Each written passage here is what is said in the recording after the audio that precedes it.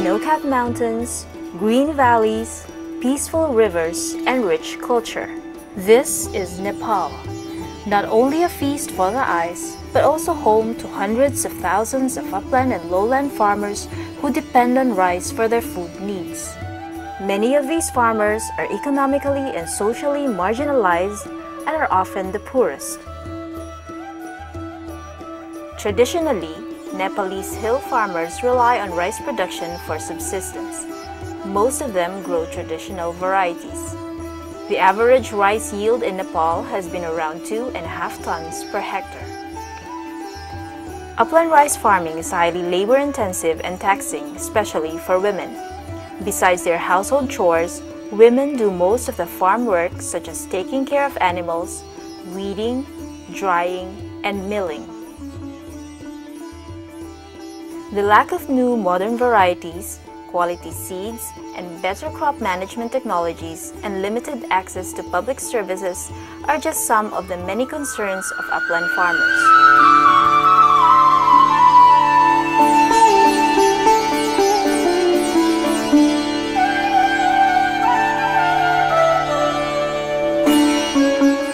The International Fund for Agricultural Development, or IFAD, provided funding to the International Rice Research Institute to implement a project in Nepal.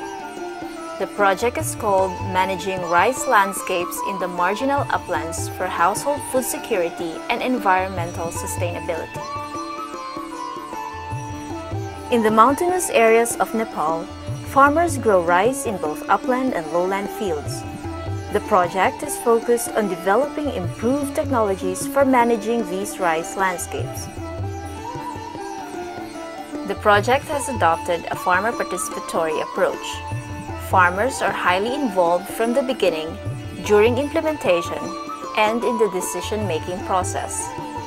Research on potential technologies is conducted at village-based field research sites it is done with the collaboration of the farmers and national research organizations. The project in Nepal collaborates with the Lamjung campus in Sundar Bazar of the Institute of Agriculture and Animal Sciences, or IAAS, and the National Rice Research Program, or NRRP, of the Nepal Agricultural Research Council in Kathmandu. In this video, we shall see the technologies that were identified, tested, and disseminated under the project. It will also show how the farmers benefit from these technologies. IAAS researchers, with the collaboration of the farmers, identified and tested several suitable upland and lowland rice varieties. From these varieties, farmers chose Radha 32, and IR 554355. These farmers came from several villages in Lamjung, Gorkha, and Tanahun districts. Radha 32 can be grown in both the lowland and upland.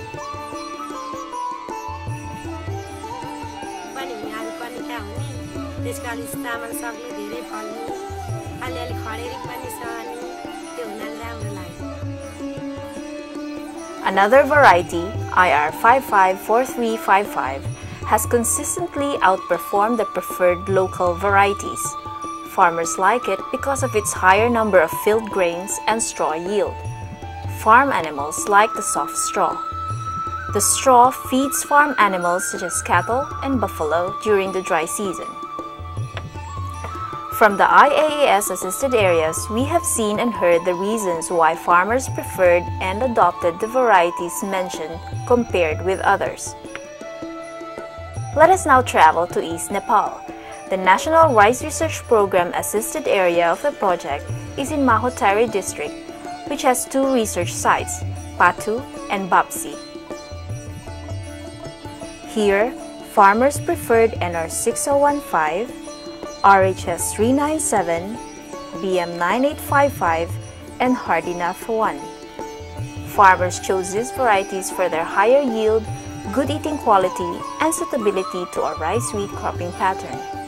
BM 9855 and NR 6015 also perform well in rain-fed lowland and irrigated conditions.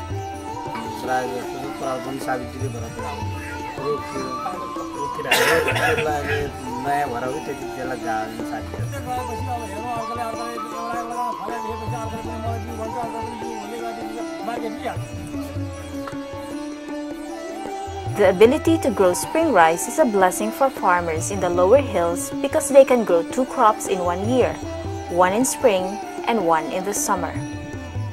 Hardinath 1 is the most popular spring season variety in the Churia Hills. The variety is popular because it matures early, which allows growing a second crop. Hardinath 1 is also high yielding and has good milling and eating qualities. It is also tolerant of drought and major rice diseases. The project distributed Hardinath 1 seeds to farmers in Bapsi and Patu villages. The seeds were also distributed to farmers in seven neighboring districts with the collaboration of the district agricultural development offices for varietal demonstration and wider dissemination. Good quality seeds are important inputs of production for farmers. Farmers rely on good seeds for their next harvest. In the IAAS assisted areas, the project helped enterprising farmers to organize themselves into commercial seed production and marketing groups.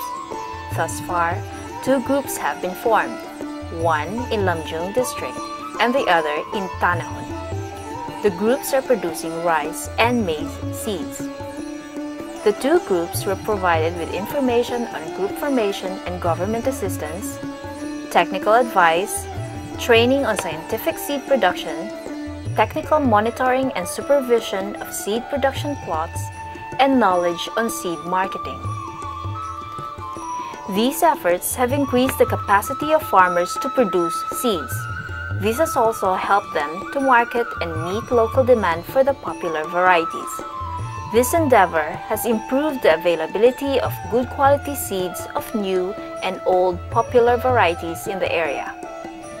Seedling broadcasting, a labor-saving technique as opposed to transplanting, was also recommended to farmers in 2007. The method saves them up to 60% in labor compared with traditional transplanting. It has significantly lessened the backbreaking job of transplanting. The project, in collaboration with community-based farmer groups and district offices, also introduced crop diversification options such as seasonal and off-season vegetable growing. One can see the farmers' kitchen gardens filled with vegetables such as cabbage, cauliflower, tomato, broadleaf mustard, cucumber, sponge gourd, and radish. Farmers such as Karki, Kushiram, Kalpana, and others say that aside from rice on their table, they also get added income from the vegetables they grow. Cash income from vegetables has enabled these farmers to buy food and other items for their families.